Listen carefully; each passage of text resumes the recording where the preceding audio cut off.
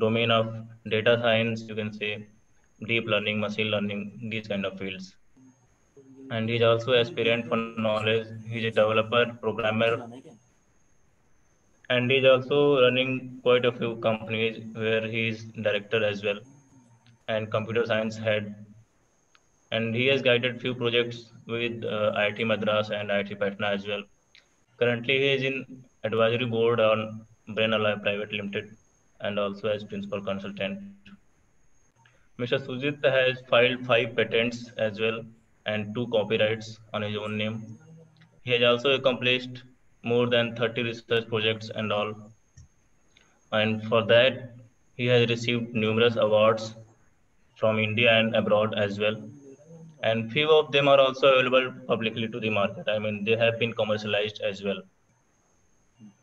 Uh, his uh, main domain is uh, like brain computer interface and currently he's working at Ulster University and uh, jointly, I mean, there is joint project from Ulster University and IIT Kanpur under UKD fellowship.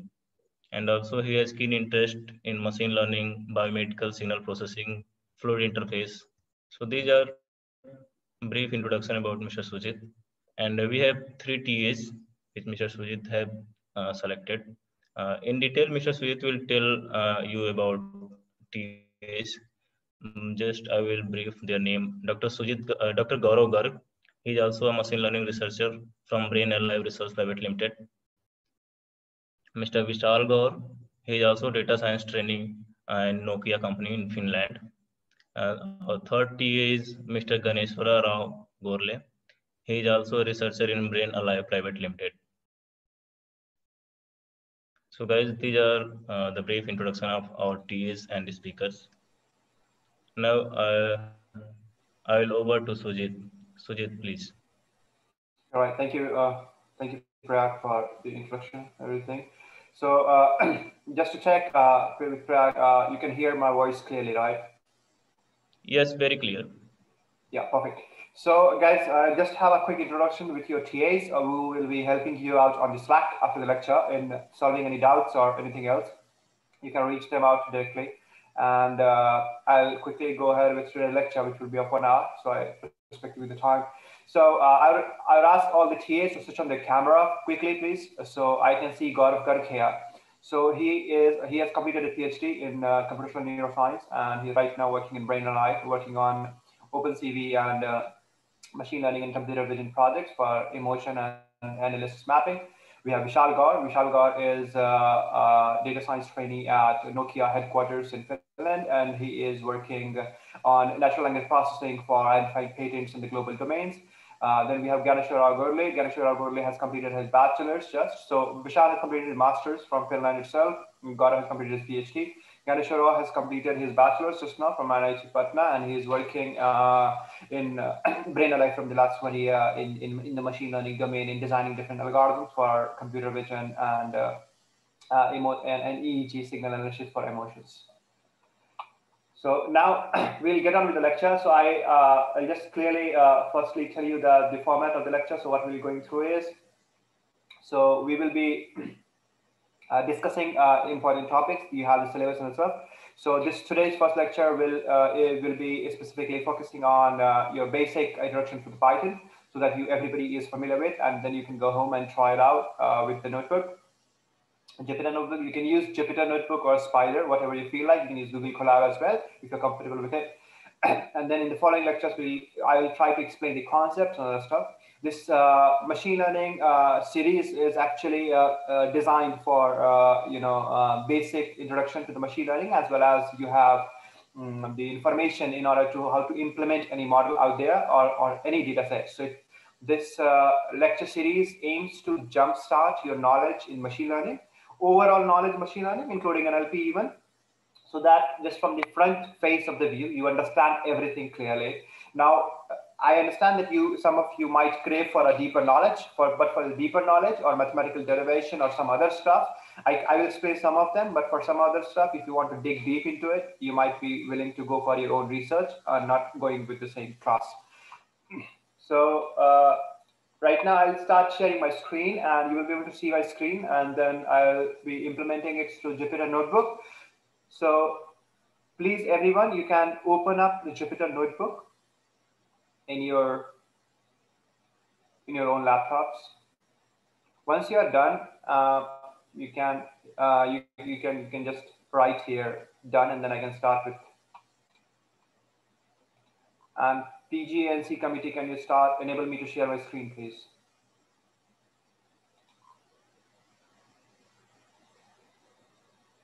Yes, you are good to go. Right, thanks.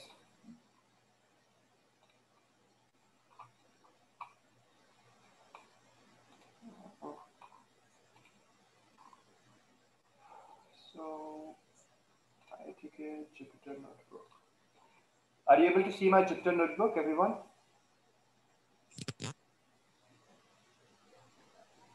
Yeah, it's visible. Okay, perfect.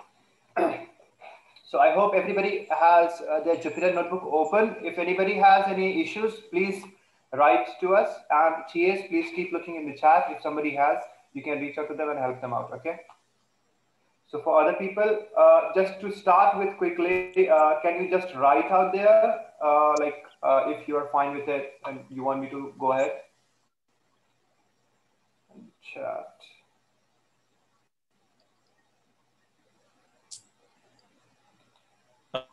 So just please allow them for five minutes so that they all can get acquainted with opening this uh, software. Okay.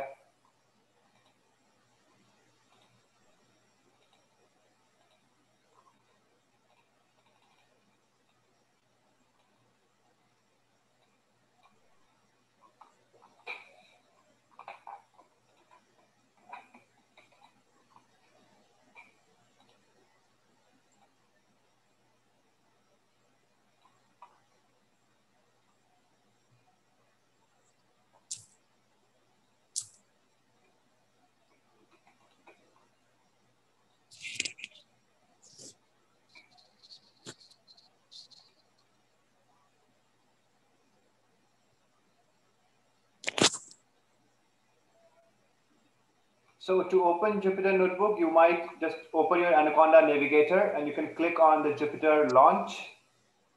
Okay.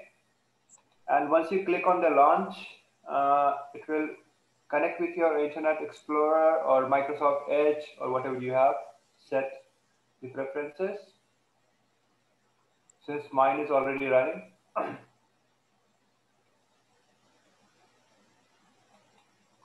so it will come up like this so which is whatever your folders are in and everything. So you can go ahead and this thing.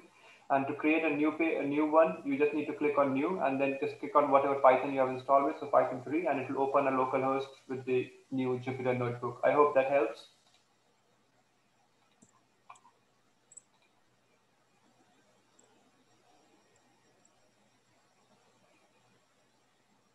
Yeah so yeah, thank you. Okay, one got, and then since you emphasize this being among basics will not be touched upon deep learning models in any detail apart from the concept.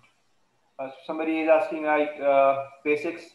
Uh, no, we will be, uh, I will be trying to give you a knowledge about the deep learning models even, and then how to implement them and what sort of data set you can implement from, and also how you can fine tune the model as well. So I'll try to cover all those concepts. Go deeply means only the derived, so derivation of the model uh, if you are interested in. So that means that mathematical derivation only.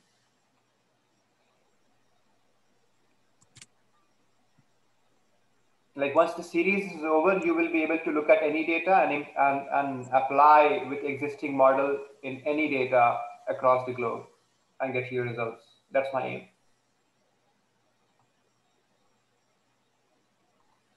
Now everybody is able to run Jupyter? Yes. Okay. And guys, just- please respond if you have any problem. All right. So uh, TAs, please keep looking at the chat because once I will go to this, I'll not be able to look at. So if you if they if you think that they are having a problem, just stop me from going ahead. Yeah, sure.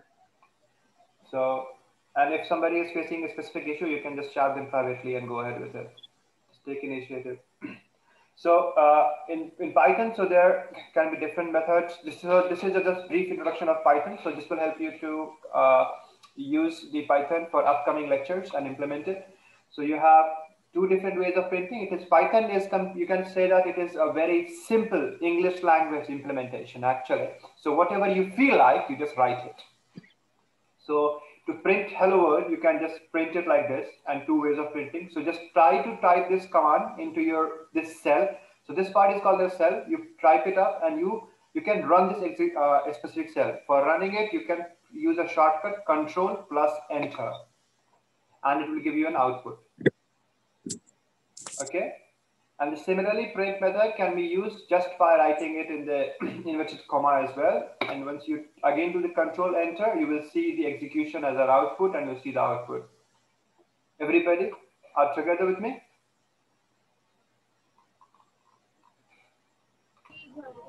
Yes. Yes, sir. Okay, perfect. So going ahead, so to assigning a variable or something uh, in the coming classes, obviously we'll be using assigning variable and something. This is the elegant way to assign, uh, actually print out the variable. You can just use x is equal to 15, y is equal to 30. And then dot format can be used to print out the value. So you can use dot format x comma y and you put any values and everything. It will be printed as the value of x is whatever x is here and the y, whatever the y is here. The same format can be used for strings as well. You see here, like the name and then greetings. Okay. So like hello, and then the name is called up and then greeting is called up. Okay. So it can be changed and we just keep on printing. So it can help you to generate the large names or something uh, automatically, sorry, uh, many salutations automatically or something like that. So once you write this up, you can just press enter. Even if you assign the x like this, you can also, if you are using Spyder or something, you can use, you can see that in your console, you type it like x and it will give you the output of 15 in the variable explorer. One thing is very important actually. So once I am running it, I just, just launch it even. So let me go here and uh, let me launch Spyder as well. So I'll show you one more quick trick before I go ahead, but it's okay. so this is for the strings. It's the same way of printing, nothing new. Then this is the way that you ask for an input in a Python program just by using the input. I told you before, it is just a simplistic English language. So you want to get an input, you will uh, call x. Uh, so x is a variable here. You're calling for the input function and it is taking in a name, right? So, and then you're asking for a printing of x. So once I run this, you see it asks for a enter a name, right? And then I put my name here and it just print x. Okay. So this is the consecutive uh, output of it. Please try it in your notebook.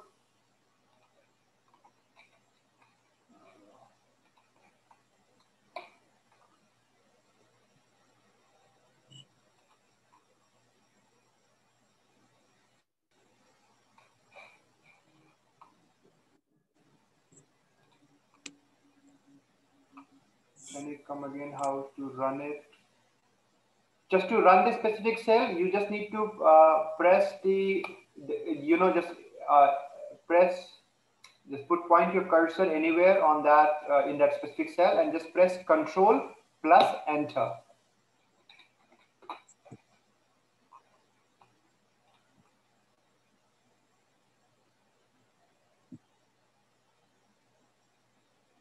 Okay. Then you have Python keywords So Python keywords are like you have, you, these are the keywords that you cannot use as a variable or any assignment because they will override the methods, right? So these are the specific keywords. You can always get a list of the keywords. I not recommend you to remember it. Nobody does. But once you start using it, you will come to know that, okay, these are the keywords because they will be highlighted in a different color automatically, right? so, and then you have uh, identifiers. So identifiers are the name that is given to entities like class, function, variables. Okay, and it helps differentiating one identity from another. So it's like it's like simple. You can say in other terms, it is simple variable assigning terms, right? But you can't use any special characters in the in identifier. For example, you see this is the invalid declaration of variable here. So one variable is equal to 10 and try to print the one variable and it is coming up as invalid syntax. But if I use underscore with it, it gets in combination and then I can see the output here.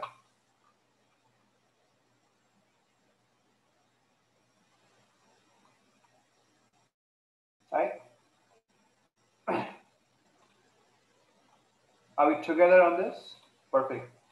So then the methods to, uh, since you will be writing a program and everybody likes, uh, in, in the program, everybody likes that they have comments in their own programs to track out where they have made the changes and other stuff. So you have Python comments. For commenting out anything in the Python, you use hash, or for multiple lines, you use double inverted comma, like this, right? So you can, so it is comment, and then it is a multi-line comments. So instead of using hash everywhere, you can just use this. But if you are using a scripting one, I can just quickly let me. So there are shortcuts as well. In order to do that, I think Control R you can use to uh, comment multiple lines as well. But that's in the scripting. For example, let's go for Spyder frameworks or any other one, maybe PyCharm or something else. Okay. Uh, Sujit. Yes, please. Uh, uh, sorry to interrupt. Uh, people are saying please go a little, little bit slower. Oh, okay, okay, okay. Sorry, sorry. So.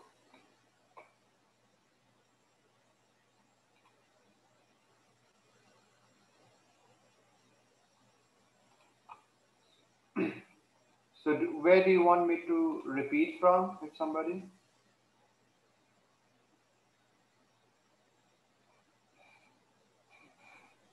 Think starting from uh, formatting the string would be fine. We have a few comments about that. Yeah. The beginning. Okay. So format is assigning X and Y. Okay. So uh, I'll actually repeat this stuff if many people are facing it. Otherwise, TAs, you can take the uh, problems privately as well so that we are not wasting time of other people. so I'll try to go slow further ahead. So formatting is very simple here. And so you assign variables and then you use it to give an output in the specific format. So format you use here like c x comma y. So it will be always be uh, whatever values are here for the x and y will be uh, will, will be represented here. Similarly, you see for the string, it is here in the dot format. I hope that uh, is clear now.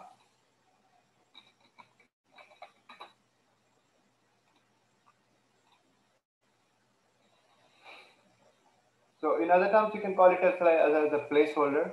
Uh, if somebody is familiar with TensorFlow old one or something like that, I doubt though, but so you can consider like it's a place placeholder. So you can put anything in and use it as well. So I just wanted to show you one more thing. So since I'm using uh, this one, uh, uh, we are using this one, we can just go for uh, Spyder as well. And in the Spyder, share. So this is my Jupyter and this is Spyder notebook. Right. So if you are able to see, are you? So can you see my Spyder notebook, I think, right? So in this one, Spyder, one thing is very cool is like, you can use X is equal to 15 and you press enter and you see in the variable, it is automatically stored. So you can explore the variables here. You can look at the variables and other stuff. And then, uh, for example, if I want to comment multiple lines. So for example, let's say that this is my, uh, one of the definition and I want to comment these. I can just use a short. One thing is like you have seen how to comment, but one shortcut can be control and one. Hello, yeah. Uh, font size. Uh, it's visible oh, okay. to you, but uh, yeah. Yeah. So, okay. So let's see that. Okay. So this is okay Python program. So let's say that I just want to comment this. Uh, okay. So I just selected them and I pressed Control plus one, and it commented all of them automatically. Okay, so control one plus one again to back up and control plus one again to comment and uncomment. Okay, one by one. So this is like uh, explorer uh, in the Spyder. This will be sim uh, this will be something similar, I think, in PyCharm, which is control plus slash, I think, but you can just check it. Okay, and then I share. So now let's go back to the Jupyter notebook. So you have multiple lines Python indentation. Okay, yeah. So this is very important uh, in Python. So indentation, so it, sometimes it automatically uh, adapt to the indentation, but if your indentation is not correct, you will get error in your program of indentation error. So it is very, for example, after the for, it automatically indented to the right, and then it will maintain the indentation until unless you run into the another loop. So it's try to structure the program itself. So the indentation is useful here. So if I don't indent it, you will see there will be an indentation error here. See, expected an indented block. So if I just want to type it, I'll show you. Once I write for i is in range 15 and I press enter, it will automatically indent it to the correct station, okay? And then I can just write it. And then I, when I run it, now it is able to give me all the outputs. Okay. So then again, similarly, in the case of if also, so any conditional statement or looping statement requires an indentation or any definition as well, any function definition as well. So true in machine learning, it will give you, if I just remove, just I just change the indentation just a bit and you will see the change actually. So let's say I do like this and then, so as soon as I move it and I run it, indentation error, Somebody is running the television. Can you switch it off, please?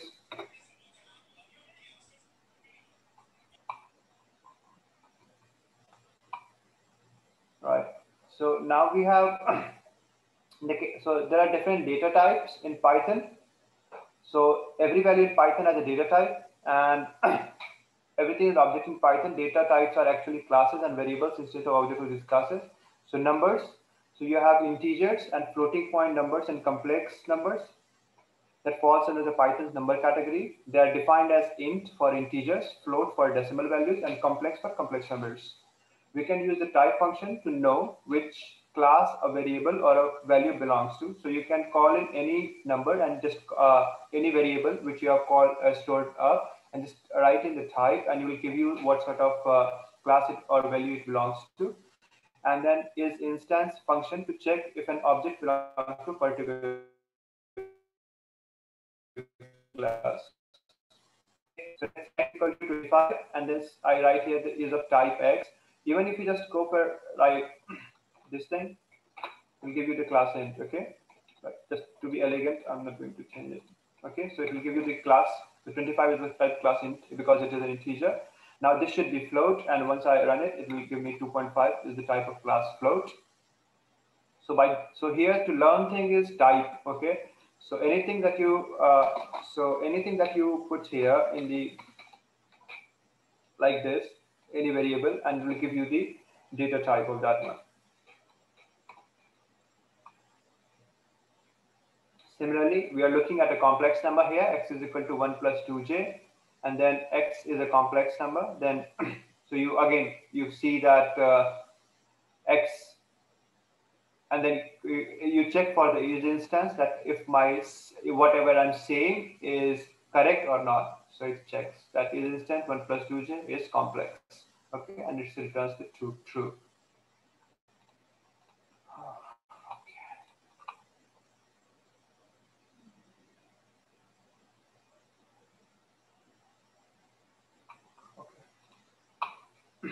x is equal to true and then you have the the type of the true are obviously boolean because it is true or false and then it, so it shows us the class bool okay?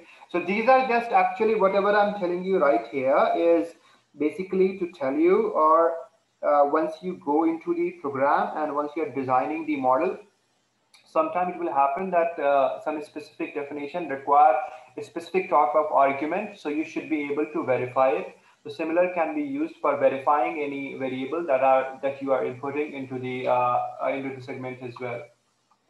Okay. Then here is Python strings. So we all generally know the strings because we have almost done you know some sort of computing in our school or something. So string is a sequence of characters. So computers do not deal with characters; they deal with numbers. Even though you may be character on the screen, internally it is stored as a manipulated combination of zeros and ones. Conversion of a character to a number is called encoding, and the reverse process is decoding. ASCII and Unicode are some of the popular encoding that we used. So I'll just go quickly over it because I think uh, that you guys uh, should uh, generally are aware of this sort of encoding or decoding techniques. Uh, sorry, the the string and the integer and stuff. These are the very basic fundamentals of programming. But if you have any doubt, you can just point me into the chat that if you don't know the concepts, then I can repeat, uh, I can ask them or direct it to them. Okay, so for example, if I'm defining a string, I'll use double inverted comma as you have seen before as well. So here is a string, x is equal to hello, welcome. So now you say that print s and now it is printed like this, okay? Now, s is stored as a string. So it is also stored in the form of say uh, list indexing, okay? So let's say that these are all the strings. So now you look at these characters, okay?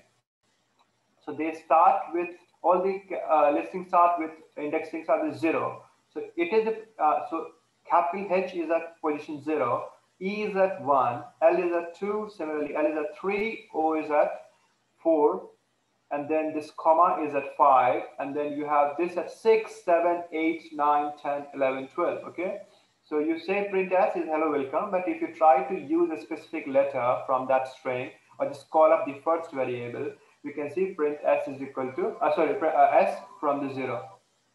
And then you, you will get the output as s. It is very important sometime when you will get a program, maybe it is not very useful, uh, might be useful for machine learning as well, but the program sort of palindrome or something in which you want to measure if it is correct from the, uh, so it is same from the right and the left, uh, like SAS.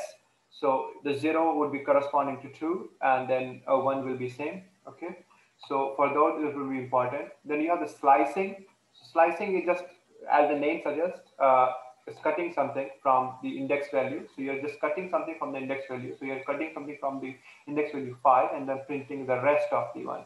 So this is the colon. I think if anybody has, if you are familiar with it, so it is like from five to the rest, give me out. And if we just reverse it, then will give you from the beginning to the five. Okay and then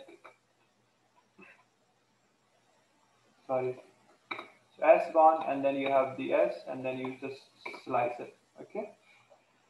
Now you have this string here. So string is welcome and now you're trying to slice a small part of it which is from zero and to two so you're just trying to uh, get the uh, slicing object here which is so now you're welcome so you see w L, and O. So from zero, it will start and it will keep increasing at the variable two. So zero, then one, and then two. So it picks up the second one, so it is L, and then goes for more, one and two. Okay, so it goes up to O, and it gives you the output. But if I change it here, okay, so you get E as well. So it is going up to the further, how much far you want to go it go. Okay, so I'll just give you five minutes uh, sorry, not two minutes in order to recollect everything. And you say, if I'm good to go, I'll go ahead.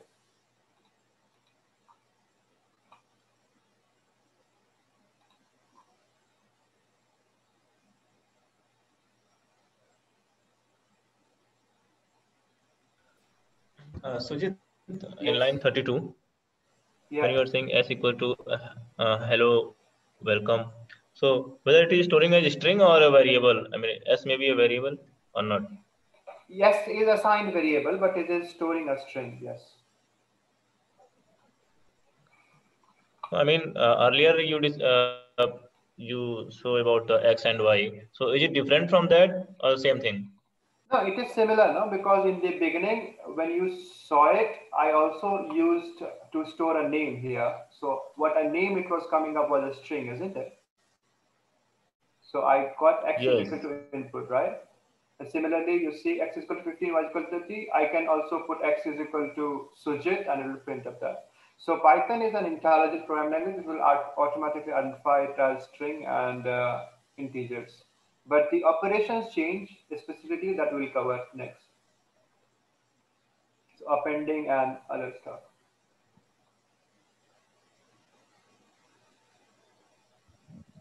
So what is the use of double colon here in line 32? Just to tell. Uh, if you it- just Yeah, tell it it is a string. That it is collectively a string. Okay. You know, this whole thing is a string collectively. If I just put it Okay. uh, a double column here, it will end here. So it will just collect hello as a string. So it's like putting all the characters together to say it. okay. Thank you. Okay. One ninety eight one eight.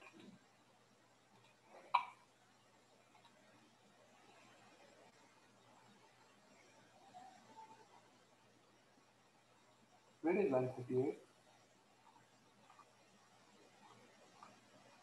Since I'm impl- implementing it randomly, my line will change. So please let me know.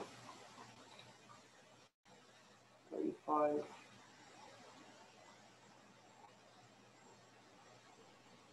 Sujit, Yeah. So this 8 sub. just one second somebody asked something so this 8 is telling how much far it has to go so it is like similarly if i tell you that in, you have to start from 0 and you have to end at 8 with an increment of 2 this is what it is representing so 8 is like you see so 0 1 2 3 4 5 6 okay? So 6 is the, this point and then 2 you are increasing it. So 0 then you have 2 and then you have 4 and then you have 6 so if i even if i do it 7 give me wloe okay? See? If i do it 6 it should not because it's not counting 6 in.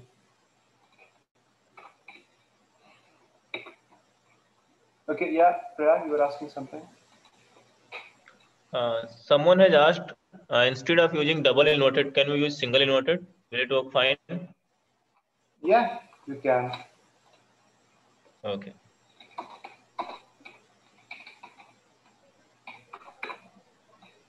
So just to show you the similar thing here, I'll just quickly uh,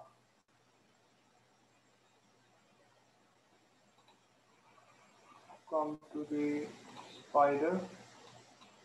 And if you see it here in my variable explorer, I cannot zoom it. I'm extremely sorry for that in my variable explorer. So if I'm just putting s is equal to in inverted comma Sujit, it will be stored in and it counted as a string okay m is equal to modify become as string okay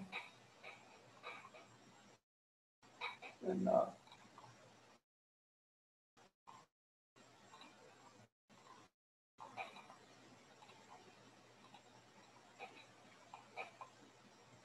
okay so now going ahead, so we have string methods. So, so this is uh, going to be a bit important. Uh, in order to append any string, you just use the plus operator. For example, in the integer, if you do plus, the two numbers get added, right? But if you visualize it in the terms of string, you want to put two strings together. Let's say hello and world together.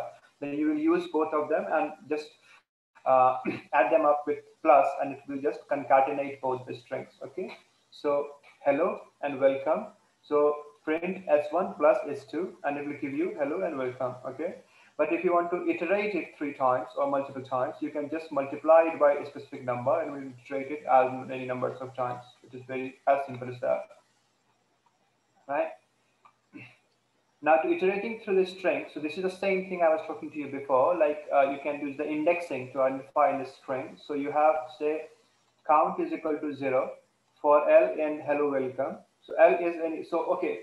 so before we go to that, it is uh, something related to looping. So you use for loops for looping starting from uh, one to uh, starting from zero or any place you want, or you can use any index to loop from between. It says like for it will start taking variables from those input that you have provided and start implementing it. So for example, here, what it so count is equal to zero initially. So initializing something like this. Now you're using for L in hello welcome. Okay. So this obviously doesn't have any value, right? So if going here and then if L is equal to O, count plus one and then count letters found. Okay. So it is just trying to find the number of letters which are there in the string. Okay. So it is just trying, yeah, so it is just iterating through this whole string and it is trying to find how many O, small o are present here. So we can see that there is one and there is two. So we saw that number of two letters found, okay? If I change it to some other letter, let's say that L itself, it should come as three because we have three here, okay? If I change it to E, it should come as E because we have three E as well, okay? And let's say if I change it to something else, then it will be zero, okay? If I do it W, then it should be one. so it is like iterating through the whole string to find out how many strings you, or like how many characters you might find. So this is just a basic concept of iteration. You might be able to use it or something. and there are different methods of the string. So we have half an hour and just try to go through quickly. So string methods, dot lower, dot upper. Dot lower is to make any string lowercase. Dot upper is to make any string uppercase. I'll provide you the notebook as well at the end of the lecture.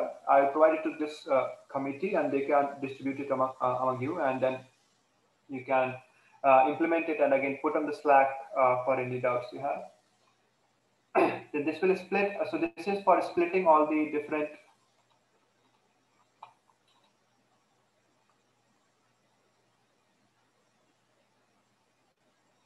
I'm leaving the questions to you guys. So uh, this is uh, split all the uh, all the sentences in the split. Okay, so it will just distribute them like this. We'll split all words in the list. Use the split function, and you got everyone separated. Okay.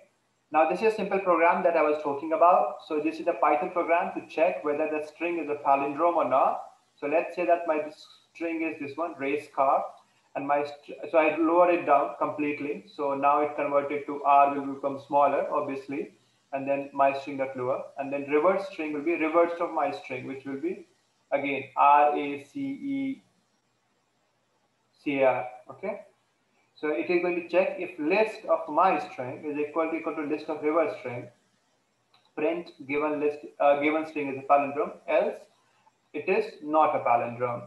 So there are different methods the computer science students do it, but we are not going to do the programming right now. I'm like not preparing for data algorithms for the interviews. So we'll try to showing you the conditional statements here. So here you have the conditional statement if. So it is just trying to check that my string, which is stored here, which is the lower case of half, the same way. So output of this one is the my string output is this thing. Okay okay? And then you reverse string it and then you reverse it. So now the output is this thing which is now you can see that they are palindrome they are from the reverse and the front they both uh, are equivalent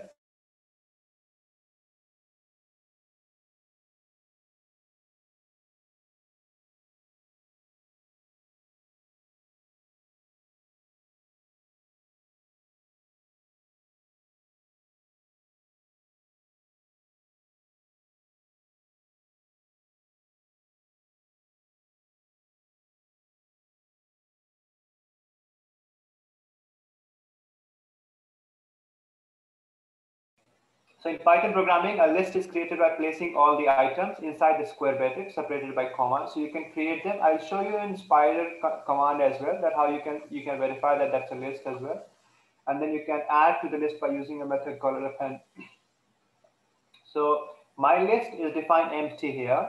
And then again, it is updated by one, two, three. And then list with index, you can also mix them. So my list is equal to one comma hello comma 3, uh, 3.14. So let's go ahead quickly with it. So if I will show you this thing. So I'll just comment it up. I make it empty and I try to print you this thing. It gives you index out of range because it doesn't exist, correct? So now if I do it, it is just empty, which is assigned here. Now I assign you one, two, and three. And now I try to print out the list. It gives you one, two, and three. Now I go to the my list, I mix them with the string and the float and the integer and I assign them with this one. And now if you print it, you see one hello and 3.4. Okay. The previously thing that you was looking at was this thing. So it is just what is that index one? So list uh, index position. I I will reiterate this thing that they started with one. So it started with zero. So this is a zero position. This is a one and this is the second position. Okay. then here you have similarly in the my list one, you have high and then my list, you can just replace any value by here. So for example, you here at my list at first index position, you had hello. So you just remove the hello with high and you now reprint the list and you will get the value of one high and 3.4. So it is just changing at the index position. Similarly, by using the same for loop that we have seen before, we can call up all the indexes and reiterate through them to change any values as well. Okay. Similar to list is a tuple, but tuple is an ordered sequence of items, same as this, but difference is that tuples are immutable. So it is once created, it cannot be modified, but lists can be, okay? So for example, I decided a tuple here. So one hello 3.4 and you see the tuple, it is coming up as equivalent to the list, but the brackets are changed. Now the m tuple, now I'm trying to modify this one, okay? By adding machine learning and then five, four, so it's it, is a nested tuple. So just making the uh, strings, then you have uh, another list inside it and then another tuple inside it. So you saw the list denotation was within the square bracket. So I'm trying to store a list inside a tuple, a string and another tuple. And I got to do though. So I get my string as well as my list as well as my tuple. Okay. So you can, this is to try at home. You can try tuple slicing with variables. I have shown you slicing before. So you can try that out. Uh, this is the homework. So you can just try it out. And then if you have facing issue, you can uh, post on uh, the Slack for, for the solutions.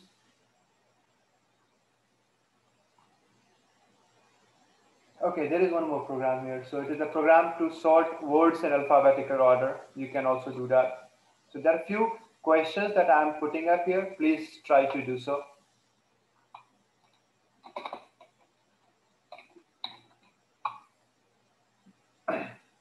So we have seen now function, similarly lists are, we have seen that it's a data structure in which we have sequence data structure. It is collection of items, which is string, integers, and other lists.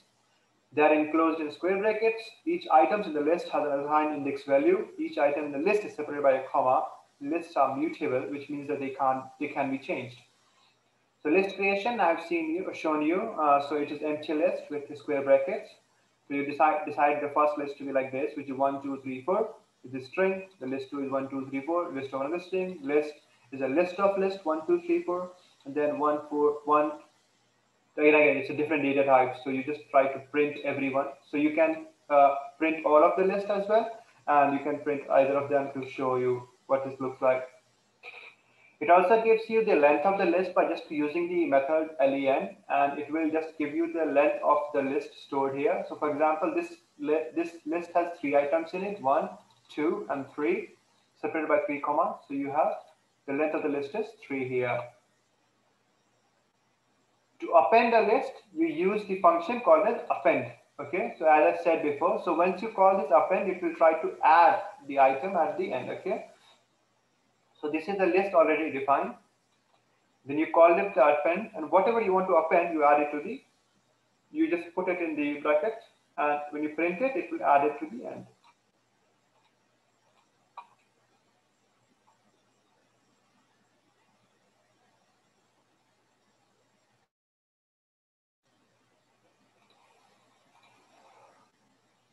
Okay. So, so we once you're changing the string, I'll just, you can make a note of it somewhere. It will be used probably in coming up lectures as well. These things are because uh, majorly you will be using pandas or some other, uh, you know, uh, tools for uh, data collection segregation as well. So list will be used as well. So you can always remember this thing that check the length of the list, use len to check the length of the list this might be used very useful in terms of running a program or a loop till the end of the uh, till the end, end of the list. If I want to run something and I want to call every single index, I'll just use for i in length of the list, and then it will go till the length of the list, or i in range, and then I put the zero to the length of the list. And then this is the append to change the list. So I want to add something to the list, and then I'll use the append. For example, let's say that you have a given uh, series of natural numbers, let's say till n, or say 10, and you just want to add to the list the numbers which are divisible by 2. So what you're going to do is you will call in the first number in the list. So you will call in for i in natural numbers list, and then the first value called divided by 2, it is not equal to 0, so not, uh, not divisible by 2. But once, so you created even numbers is equal to empty list, and then you just call even number dot append, and if it is divisible by 2, then it is append, and then you append that specific number. Okay, so it will be used for appending and you know changing or storing of the values further ahead. Then list insert is that inserting uh, a specific uh, values at uh, in the list at a specific indexes. So for example, list is given here and I want to store that something at index 2, which is 0, 1, and 2. So it will index, uh, so it will insert mathematics at the index 2 and AI will be moved to the third index. Okay. Similarly, you have for remove, you can remove specific and you can uh, print the rest of the list. Then append and extend. So I have told you before that append is to uh, add something to the list. So once you add a list to the list, you can see there is another list added to this one. So you can append it. Extend will merge both of the list. Okay, and call them into simple uh, into a single list.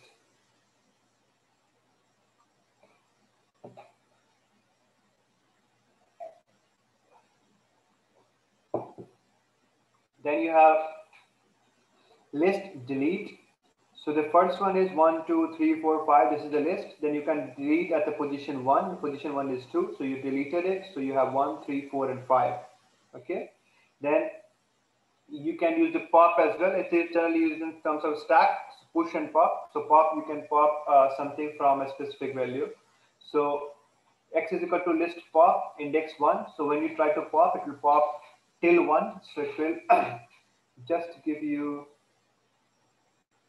uh, so it will give you one, four, and five. Uh, can you can somebody tell me why it is one, four, and five? Because it already deleted two. Yeah, perfect. so somebody is away, no problem. So we have, then we have list sorting. So before going to this one, uh, I hope everybody has catched me up with all the other methods of the list. So I'll just quickly tell you again, to the length of the list, it is len. To append, it is dot append. To insert, it is dot insert. It is exactly same as English. To remove, it is dot remove. To append and extend. So append is just merging both of them. Extending is merging both of them into one list. So you have dot extend and dot append. Then you have delete list. So you have delete uh, and then you can delete specific uh, position to pop. Also, you can also use pop to remove something from the specific position. Now this is list sorting. This is to sort a list into a specific order. Okay. So sort a list is, you can use the sorted list function. And it, I think uh, uh, it is quite fast in, in, in the Python uh, to, to implement this uh, sorting. So you have similar number 3, 1, 6, 2, 8, and then you can sort the list by sorting it. There can be different methods of sorting that uh, in data structure classes. If somebody from computing background, they might have done it uh, like quick sort, selection sort, merge sort, etc. But we are just dealing with the Python here, so you can call an inbuilt function of sorted, and we'll give you the sorted list. Okay. Or you can just sort uh, the list in itself and call by calling the function so list dot sort and then you have the list here is sorted okay strings Sujit, yeah, yes yes yes uh, uh, in the previous line, like you said, uh, insert. yes So where will it uh, insert at last? I mean, what will the position Yeah, Now so new position, string. yeah, yeah, position you are giving here, no? So insert is position here, index at two. Okay, so index two is zero, Okay. one, and two. So this is the second index, so it will insert mathematics as second index. That's why it pushed the AI to the third index. Okay, Okay. And suppose uh, we want to uh, we want to delete something. So Mhm. whether uh, I mean we can do in both the we can do in both the way, just by naming or just by uh, telling the position. Yeah, you can tell the position, index value where you want to delete it, and you can delete it. Okay. So index value or index position, both we can provide.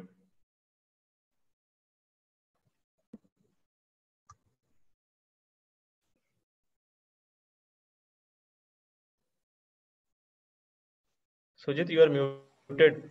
I Oh, didn't. sorry. Somebody muted me. I don't know. so, yeah. So uh, once we will be doing it with the you know pandas and other stuff, I will be able to show you in place and other stuff. So if you delete something, some values are gone. So how to arrange it in a manner so that if they stick together, do not lose the. Go through pop once, please. Okay, pop and remove are the same stuff. It's to remove a specific item from something. So you can just uh, you can imagine uh, this thing. Imagine yourself uh, eating a burger. Okay, so let's say that you have a beef burger, sorry, chicken burger, and then you have the bun, then you have the uh, lettuce, and then you have the uh, chicken curry, then you have the uh, onions, and then you have the tomato, and then mayonnaise, and some or more lettuce, and then you pack the onion, right? So if you want to remove the top of the onion, what are you going to do is you're going to remove the bun, and then you're going to remove the tomato, and then you're going to remove the onion, right? So that's popping off. So it is the same way that you do pop. So if I want to delete something from a specific position index, I just use the pop here. So I decided the pop. It is called with the list or the stacks, and then from the index one, you're popping. So the one is two here, two here, but it was already deleted. So three will be the one index. So it got deleted. Okay, so one, three, four, five was a new list, and then three got popped out. It means that you just taken it out. Okay. I hope that's clear now, right? Pop is like taking anything out, uh, similar to delete.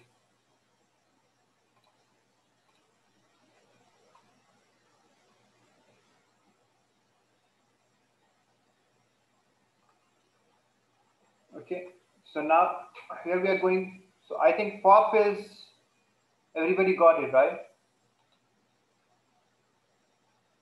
Okay, so now we are going for, uh, so looking at the list, so, uh, so we have done the list sorting, sorry.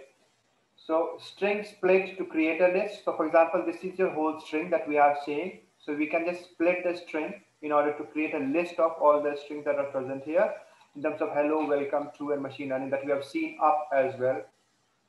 So it has created you a list which is 0, 1, 2, 3, 4, 5 till fifth of index to call up any values. You can extend the list using plus as well. So it is similar to, uh, so I've, I've shown you up above as well that you can merge two lists. So you have list one, which is with three uh, three values in it. List two with three, two values in it. If you merge both of them, it will be five values in it. Okay. And your list count is one, two, three, one, three, four, two, five. Okay. So this is the numbers that you have. You can just you can do uh, counting of a specific uh, frequency of a specific digits in a list.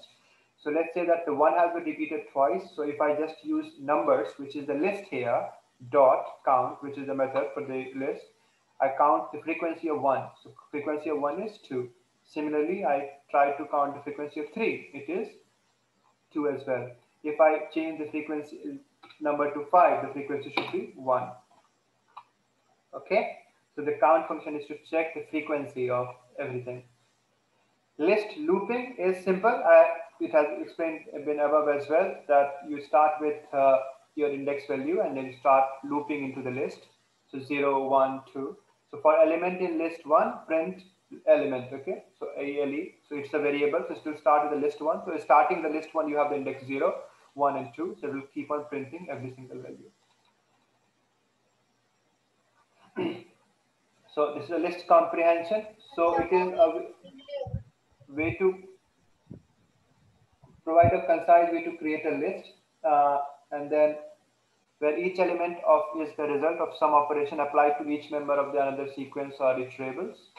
It is to create a subsequence of those elements that satisfy a certain condition. So let's say that you have cubes, which is an empty list, and you are starting from i till 10. Okay, so 10 not included. You are going to append to this list the numbers with whose uh, so cube of those numbers. Okay, this is the same thing I was trying to explain you before through a natural number example. So this is an empty list. So with every single print, you're trying to append the values to here. Okay. So if we want to really visualize it, you can do this thing here. So if I show you print cubes, you can see by every single step of the for loop till nine, uh, so 10 times it will go, it will try to print a value. You see, so 0, then 0, 1, then 0, 1, 8, then 0, 1, 8, 2, 27, and it is keep on increasing, right? So it is just appending the values into the original empty list. Similarly, here you have this. Uh, so you can just use simple comprehension as well, which is like i cube for i in the range of 10. So it's just in one single line, you will be having the output here. I think you might be very much comfortable in doing it. Don't go for comprehension. You can just try it at simple statements in order to do the Python or people who are good with it or want to play with it, they can use the comprehension. Tuple is similar to the list that we have seen. So you have T created, then 425. You once you print the T, you will come to see 425. Then again, date mixed data types and mixed uh, list as well. So we have all the things. Changing a tuple, so you can't change the tuple as I have explained before. It is immutable. It means that once it is defined, you will not uh, be able to delete or something similar or place uh, similar to the list. So once you try to do that, you will see you will get an error. Okay. then you have the set. Set, I think this we all know from our class six, seven, I don't know. The set is an ordered collection of items. Every element is unique and you don't have any duplicates. The set itself is mutable and we can add or remove items from it. The sets can be used to perform mathematical set operations like union, intersection, symmetric differences, etc. So you have 10, 30, 20, 40, and 5. So you see this is a set. So it has been gone here. So my set is equal to 1, 2, 3, 4, 3, 2, and then my set. So you try to just print it the my set and you got it here. Okay.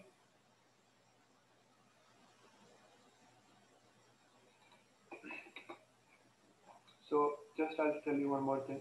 So, okay, so one thing to emphasize is there is uh, the set cannot will not have the duplicate. So for example, I have this thing repeating twice. So this will not be called in, but if I put any numbers after this even, it will be called in.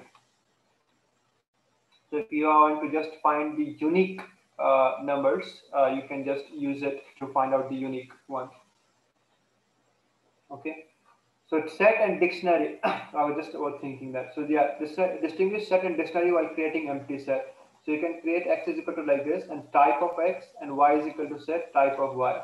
So if you just create an empty like this, it will count as a dictionary. In dictionary, it is a similar to your dictionary uh, that we use in English. So you have a word and then you have explained meaning. So in the dictionary in the Python, you have a key value and key, and then you have the value corresponding to it. So you type of the X defined like this will be a dictionary, but you have to, when you initialize a set, you will have to call it a set. You have to do so. Dictionaries are quite useful. We might be using it in probably in the uh, some complex programs if we are trying to solve or achieve. Then, for example, my set here is 3, 6, 9, and 12, and then I call it a my set. That is, it cannot have the mutable items. It is already uh, decided here. So unhashable type, which is list, it cannot insert that. So if we try to use for indexing, then also set will say that object is not subscriptable. Okay, so my set zero. It uh, if it is a list, you would have got 18, but since it is that, you will not get an uh, index value from it. how to add an element to the set. For example, you have already defined a set, which is my set. Okay.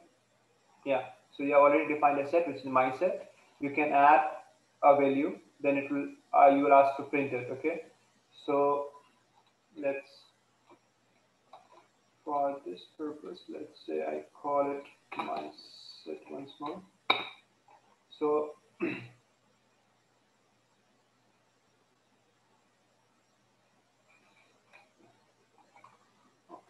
Uh,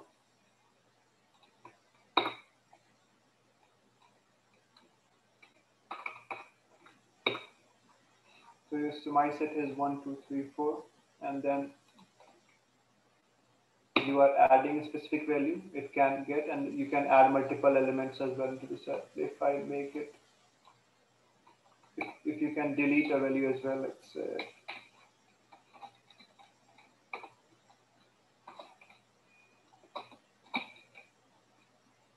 let's say i just call up this set from here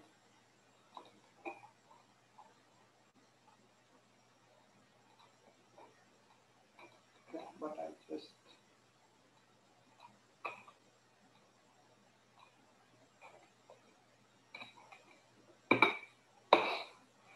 So firstly it will uh, sort them and then let's include some other things so that we know the difference.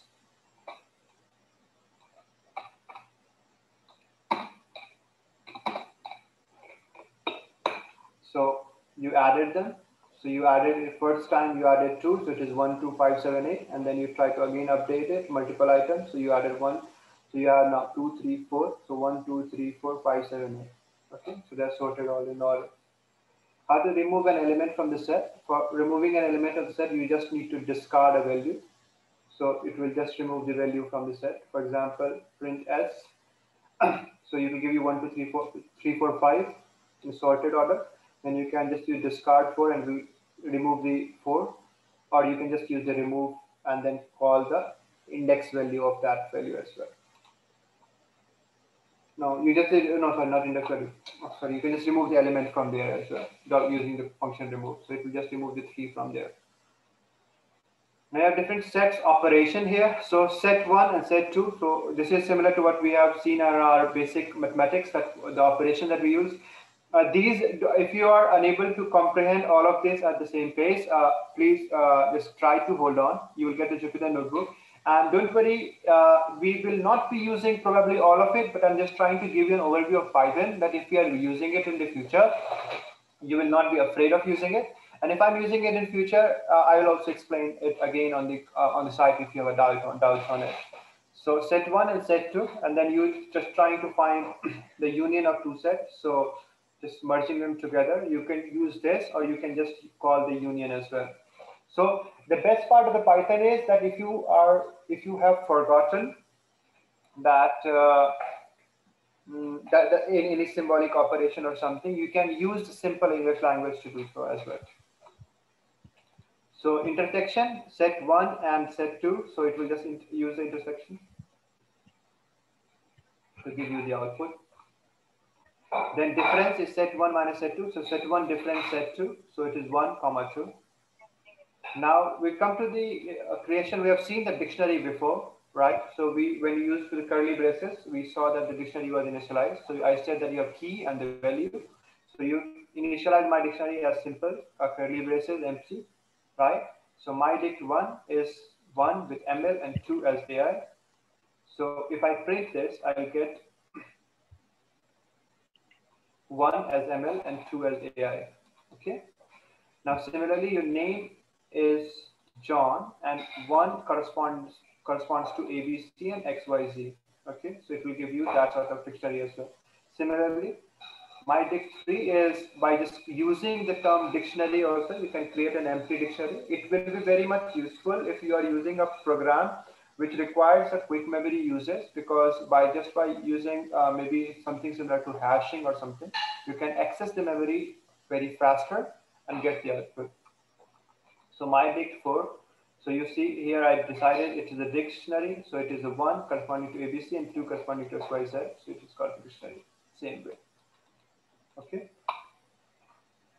similarly my my date which is name name age address education so you can just a specific value because so age is the key right so you're just getting an output so print my deck age it should be 35 the value corresponding to age or you can just use my, my deck dot get and then from the value corresponding to age and give you 35 okay? You can update any values or something like that. So name is the key here. So my dict name is equal to williams. It will replace the john with the williams. And dict education is equal to phd so education will convert to phd my dict name and then my dict education. So you see just try to print it and then you got the output as williams and phd the dictionary methods there are different dictionary methods so for example you have fromkeys uh, should I cover this right now or leave it for further? Okay, I am already over time. I don't know if you, uh, uh, you can let me know or somebody from the group let me know that if I have to stop. So, Uh, yeah, it will be better if if we can stop here. Okay, then And, uh, I'll just uh, mark it as yeah. dictionary methods and I'll take it in the next lecture. So only, there is only Ah, yes, one or two topic actually, not too many. So I'll just start in the beginning. Okay. How much time approximately it will take to complete? uh, maybe say this way because I'm introducing NumPy and other stuff as well. So let's say 20 minutes approximately. Okay, so so stop it. Uh, so let's stop it here and open uh, some uh, questions from the participants if they have. Yeah. Go ahead, please, if you have any Mhm. questions, and then you can post it on Slack as well. Hello. Can you hear me? Your voice is coming up very squeaky. Uh, is it clear now? No. Can you write down your question in the yeah. chat? Please share the distributor notebook. Yeah, I'll share distributor notebook. Uh, hello. Now is it okay? I, I wanted to ask what is the difference between remove and discard?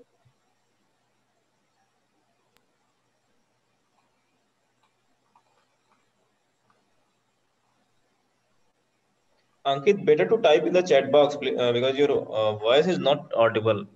Sorry, can I uh, like uh, tell his what he's telling? Like uh, he's asking about uh, like differences between uh, remove and discard. Remove and discard are basically the same thing. We are just trying to remove uh, the same uh, element from uh, same element from this set. For example, that we were defining, like we wanted to remove something. So we said that remove three. It removed the element three from the uh, from from that one, and then we tried to uh, discard four, and then it discarded the four from that uh, set as well, right? So it is the same thing, uh, almost the same thing. But if you go in uh, very uh, deep of how to the how it will affect your program actually, then you will have to you, you can use it like you can use actually the remove function from using from a specific uh, indexing and then putting it at some other indexing as well. So it can be used for that, similar to like copy pasting. But discard can't use that.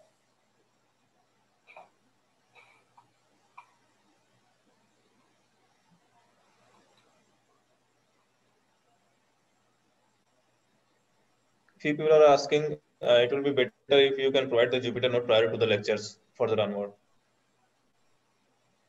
Yeah, yeah, I will be giving a Jupyter. I'll just send the Jupyter notebook right to you, and then you can. Or you wanted to, me to put on the Slack something?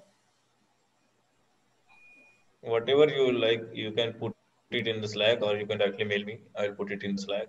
Okay, I'll I make mean, it prior to the lectures. prior to the lectures. Yeah. Can we use Google Colab instead? Means like it would be Google- easy to share between everybody and then you can Uh, that is the, no, actually, that is the problem. I don't want anybody else to work on it when I'm working on it. So, so that was something. So Yeah, okay. I'll try to give you the code file, and uh, but if we, if we if we give you before, I'm like once I explain it, then you have it and then you can practice it, isn't it? That will make more sense. I'm like, I'm just trying to find the comfortability. If I give you beforehand and uh, then I don't think, and then you will have recorded lecture anyway, so you don't need to come to the lecture. I mean, you can you can say people are trying to edit your uh, Jupyter file and see the changes. I mean, they don't want to write. Yeah, so That's right. Yeah, okay. Or or I think actually see the one reason I'm not giving you the Jupyter file, I like I don't want to say for every one of you. Yeah, so somebody saying while typing typing we lose a lot of time, but fingers will help you to put some of the keywords into your memory. If you just keep on control enter my every cell, I know my every cell works. so that will not be very much helpful. I know that every cell works and will be output, so you'll not be able to remember it for the longer period of time. I know it can be time consuming, but it will help you actually. So let's keep it like this only. So after the lecture, as soon as the lecture finishes, I will drop you the Jupyter notebook. You can then maybe just keep control entering it. But I would prefer that you maintain your own notebook and you keep on writing in that. Uh, there is a question. Uh, can you explain? Can you explain nested list comprehension? Nested list, list is simple list in list inside a list. It is simple, same as like we use nested for like nested loop, a loop inside a loop. To keep in it. Can you explain the output of the triangle? The last two lines, why they are saying which triangle is she talking about? What triangle are you talking about? Which line it is?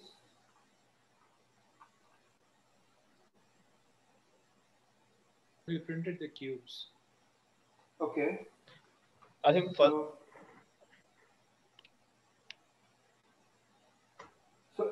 triangle. Okay, thing that I was. No, no, when we printed the cubes, can you hear me? Yeah, yeah, yeah. When we printed the cubes. Yeah, so if, if you go to the output, there's like Yeah. the last output comes out to be twice. Oh, okay. Oh, oh, okay, okay, okay. I just. Oh, okay. So. Wow, you guys are quite observant, isn't it? So, so when I'm printing. Oh, it- okay, there's a second print. Okay. yes. So you have Yeah, two okay. Sorry. print cubes here. Okay. So first it will print the last element added, and then it will Uh. print. the- Okay. Okay. okay, guys, you can also post your queries in the Slack platform, and TH or uh, speaker uh, himself can respond in that uh, Slack channel. And also, before uh, asking questions, uh, please go once through the recordings we will provide you, so that you can have a better understanding. And even if you don't understand, then please ask. then obviously we can ask. But uh, what I'm so I'm just again telling you, reiterating it. What I'm just telling you will be useful. Uh, will might be useful when we are doing the program. Some of the components you might never use it. Don't don't curse me for that. so it, you can consider that some extra information. And once you can go to the Python, it can be done. However, I know that if you have done that video that I sent you, it would have explained you some basic concepts of the Python anyway. So but still it's for my satisfaction i'm explaining it. And in the next class we'll cover this. And in the next class we'll also cover the data representation. So we'll actually start everything from the next class which is how to look at the data or present the data. So using different libraries for it Uh, one small announcement I would like to make. Uh, from you next lecture onward, Okay, one more question somebody posted here. Can you tell about prerequisite for ML? There are, if you want to do uh, become a ML researcher or deep learning researcher, obviously you have a too much prerequisite. But for this lecture, I have designed it in order to uh, in order to in order to let you understand uh, every single thing uh, in a short fashion, and you have an overall knowledge of the machine learning platforms. But once you go into deep into it, you need to know statistics, probability, calculus. Uh, that's three basic fundamentals of mathematics. Then you have different models like Bayesian and uh, and uh, Boltzmann machines and other stuff. So it depends on the area of research you're working on it. But this uh, tutorial, actually, lecture series will help you in your own research if you're not from the computing background to implement any data and take a meaningful result out of that. Can I can I ask a question if there's Yeah, time? Yes, yes, please go ahead. So, yeah. So basically, when we were talking about reversing strings, Yeah. so you you proposed a function called reverse that string, Mhm.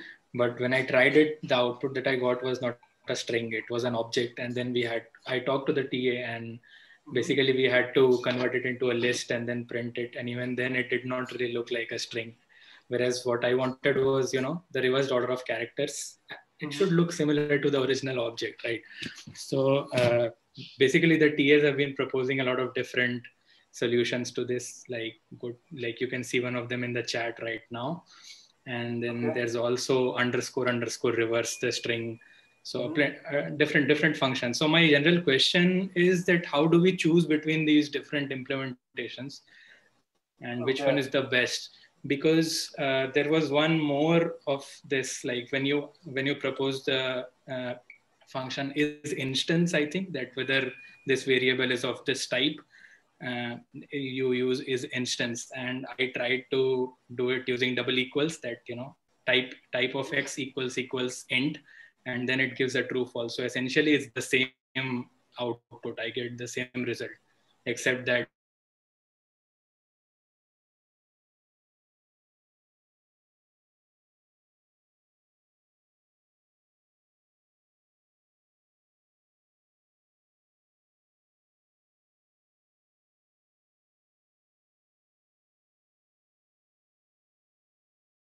in a programming environment because people keep on developing the new methods and other stuff. So you will have different methods for uh, getting out a different uh, output. None of them are right. Uh, none of them are wrong.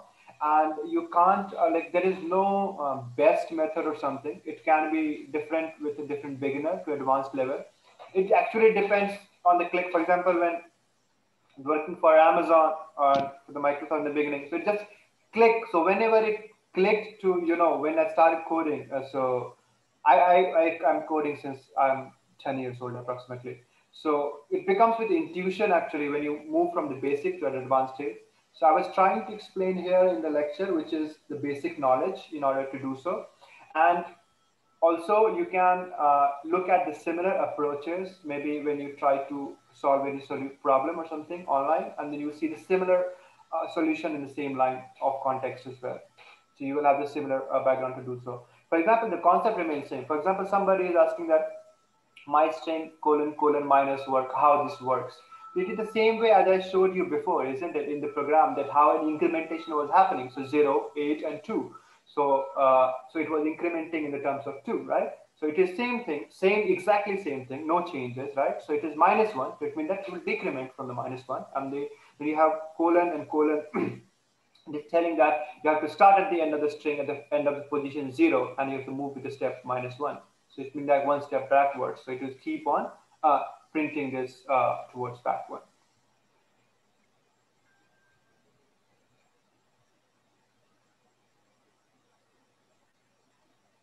Okay.